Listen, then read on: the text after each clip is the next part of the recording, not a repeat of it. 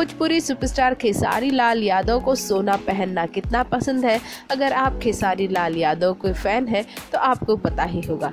और आपको ये भी पता होगा कि खेसारी लाल यादव इतनी चैन क्यों पहनते हैं? क्योंकि खेसारी ने ही कई इंटरव्यूज़ में कहा है कि उनके चाहने वालों ने ये चैन उन्हें गिफ्ट की है।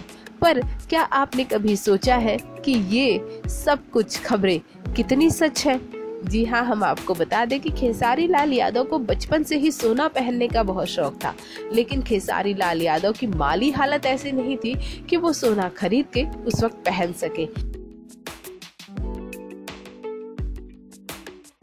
इसलिए तब उनकी ये दबी इच्छा तो दबी रह गई। लेकिन जब वो भोजपुरी के पॉपुलर स्टार हुए तो उन्होंने अपनी ये इच्छा पूरी करने की सोची। तो खेसारी लाल यादव जब भी खुश हुआ करते हैं या कोई उनके घर पे तीज त्यौहार होता है तो वो अपने लिए एक सोने की चैन ज़रूर बनवाते हैं।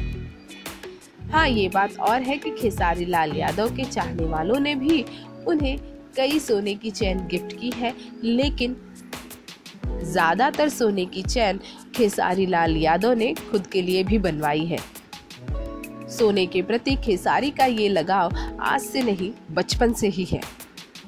सोने की चैन के अलावा खेसारी को सोने की अंगूठी और सोने के ब्रेसलेट का भी बहुत शौक है, जो कि लगातार उनके घर के कई फ़ंक्शंस में ये सारी चीज़ें दिख जाती हैं। अगर आप खेसारी लाल यादव के फ़ैन हैं और उनके प्रशंसक हैं तो अब आपको पता चल गया होगा कि आप खेसारी लाल यादव को कैसे खुश रख सकते हैं।